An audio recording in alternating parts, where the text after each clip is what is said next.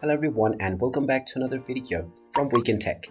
In this video, I'm going to show you how to remove someone from your Splitwise group. So let's get started right away. First of all, open up the Splitwise application on your device and then log into your account if you haven't done so already using your credentials or your Google account. Once you have logged in, you will be taken into the homepage.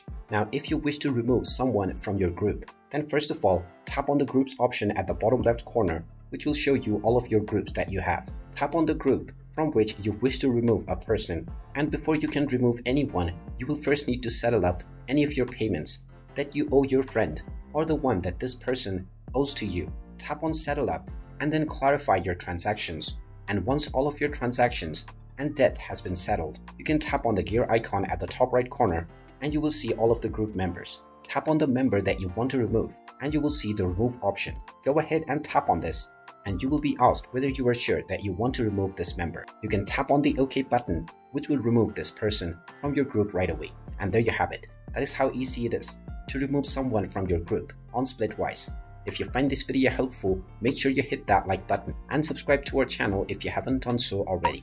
Also ring that notification bell to never miss another update from us. Thank you for watching and I will see you again in the next video.